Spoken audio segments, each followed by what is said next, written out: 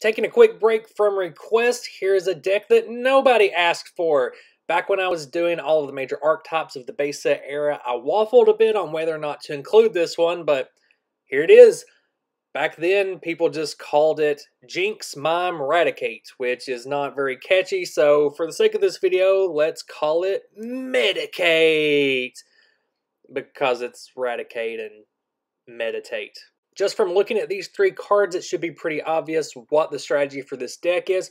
You're going to use Super Fang to deal damage to the opponent's Pokemon equal to half of their total HP. And then you're going to swap in and use Meditate for the guaranteed KO. The main draw of using this deck is that it is a Chansey breaker. Any kind of stall deck that relies on Chansey will get destroyed by this 1-2 punch. And since the last few videos have been about very effective stall decks, I thought now would be a great opportunity to bring up Raticate and its ability to effectively hard counter those stall decks that rely on Pokemon like Chansey.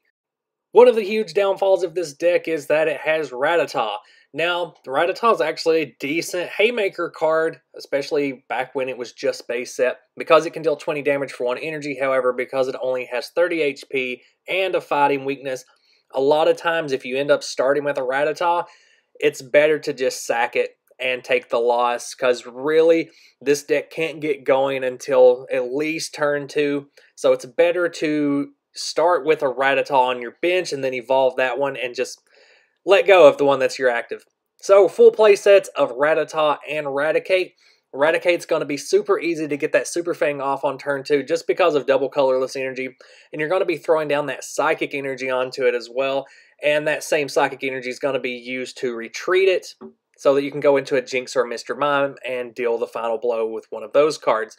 By itself, Raticate can't do all that much. If you really have to, you could Super Fang and then just bite your opponent until they're down. But because Raticate only has 60 HP, that's going to be very difficult to do. Mr. Mime and Jynx both have Meditate, but they need to be interchangeable in this deck depending on what kind of situations you find yourself in. They both have their strengths and weaknesses.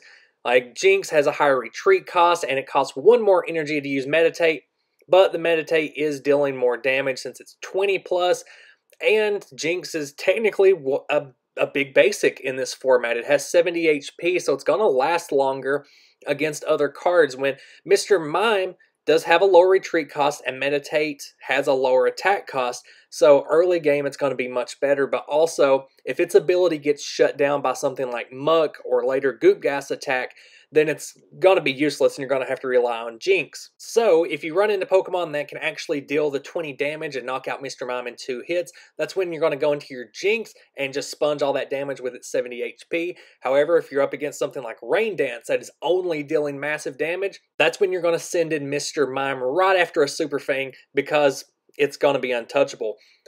And then, of course, all of the trainer support, we're going to have three bills and two Professor Oaks just for draw power so that you can get all the cards you need in your hand. You can have a Mr. Mime and a Jynx on the bench. That way you can switch into whichever one is best for that situation. Energy removal, just because it's base set era.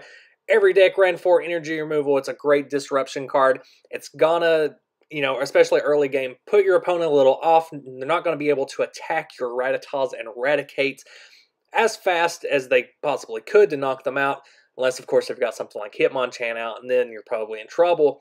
But Gust of Wind is going to make sure that you can cycle through those Pokemon.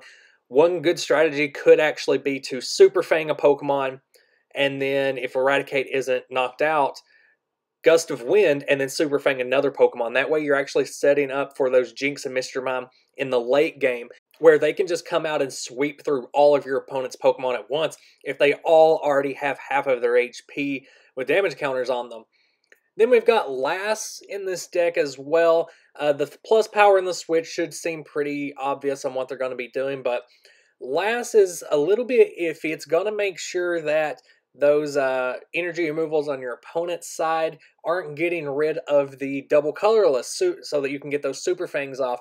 It's a little bit risky because you are going to try to hold on to those plus powers a little bit. For if you find yourself in a situation where your Raticates are just getting knocked out before the Super Fang can get off, and you're having to rely on Jynx and Mr. Mime to use those attacks. So You know, a meditate off of a Jynx that has 70 HP isn't that bad of an attack by itself, especially since a lot of the format is weak to Psychic, including its own type. So, you know, the plus power doesn't lend itself to the Super Fang meditate strategy. However, it does help you when you get in a bind and you run out of Raticates and no way to replenish them. Computer search and Pokemon Trader are going to make sure you get the Raticates when you need them as fast as possible on turn two. Computer search is also going to be really helpful in getting those double colorless energies out of your deck. Filling out the rest of the deck with Psychic Energy, of course. The trainer base for this deck is actually very fluid. The trainers are basically, you can alter them to your own play style and whatever you think you're going to be playing against because the main point of this deck is just using Super Fang and then Meditate. You're going to medicate it up with this deck. And while this deck is a great stall breaker, it has a lot of weaknesses, the biggest of which probably being Gust of Wind, where if you have a Mr. Mime or a Jynx out, your opponent can just pull out a Raticate and probably one-shot it because of that fighting weakness. And, you know, 60 HP isn't all that great for stage one especially. Another being basically any deck that can get off a huge attack on turn one or two. Looking at things like Haymaker or Rain Dance, which you can figure out ways around those, and Raticate is just as effective on all of those. The combo works on any Pokemon card, but this deck is styled around huge Pokemon like Chansey and not actually quick attackers like Hitmonchan or Magmar. In playtesting this deck, I found that some of the biggest challenges were with Wigglytuff you would end up trading a lot of losses with Wigglytuff. So basically, for every Super Fang you got off on one, you would be losing a Jynx and probably a Raticate as well. So they would be taking prizes a lot faster than you, even though it did work pretty effectively on Wigglytuff.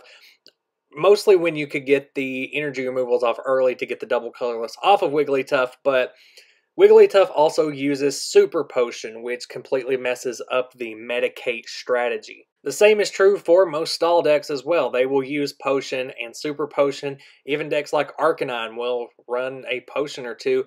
And that kind of messes up completely what Meditate is doing. Now, because Jynx does 20 plus, even off of a potion, or if your opponent has a defender, you can still get around that and get that, you know, one two punch knockout.